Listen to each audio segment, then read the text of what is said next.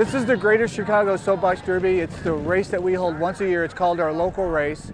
The winner of our race today will actually go on to compete in Akron, Ohio at the end of July, where they'll compete with about 500 other kids for the World Championship title.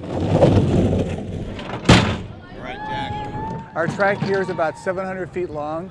The speeds are about 18 miles an hour. Depending on where you race at throughout the country, the speeds may uh, increase up to 30, 35 miles an hour.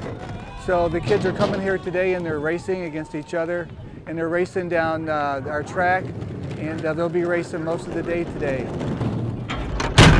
We've been in Naperville exclusively probably about, I'd say about 10 years.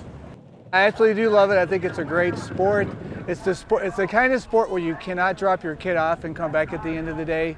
You have to be actively actively involved with it at home, working on the car, getting the car ready for the race. You have the shell and then the bottom, and um, like the side of the car, you have to like sandpaper it before you put on the wheels.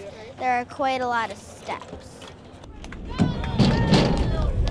I have two girls that are racing. Claudia's in her third year and Meredith is, this is gonna be her second time down the hill. One, two, three, you're off. Everyone matches up partners. We go down the hill and just have a good time. This is, kind of goes for everyone. Keep your head down to not catch the wind.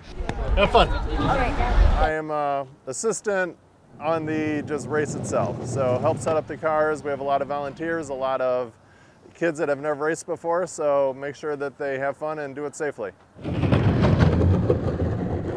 I really like racing with new people and meeting new friends here.